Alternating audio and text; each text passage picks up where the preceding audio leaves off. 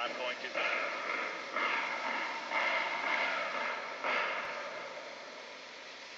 We can hear the explosion.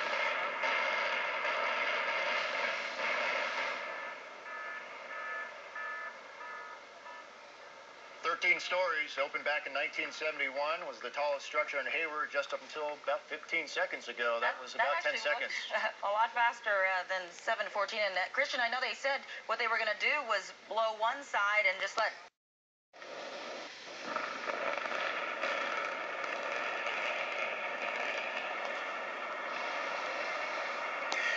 you see it. It took just a matter of seconds for crews to demolish an historic Cal State East Bay University building this morning. We brought it to you live at uh, about 9 o'clock this morning. They demolished Warren Hall on the uh, Hayward campus because it was ruled seismically vulnerable as it sits just a half mile from the Hayward Fault.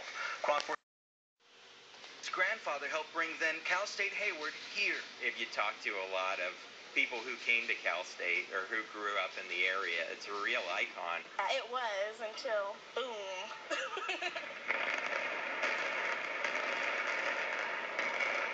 but Warren Hall had to go. It was the worst earthquake hazard in the Cal State system. I wasn't expecting it to be so spectacular. Hayward native Nicole Leah did not know about the building's danger. High photography, quite dramatic, show Cal State East Bay's 13-story Warren Hall turned into a pile of rubble. ABC 7 News reporter Kira Klapper tells us how scientists plan to use the implosion to understand how the Bay Area is affected by earthquakes.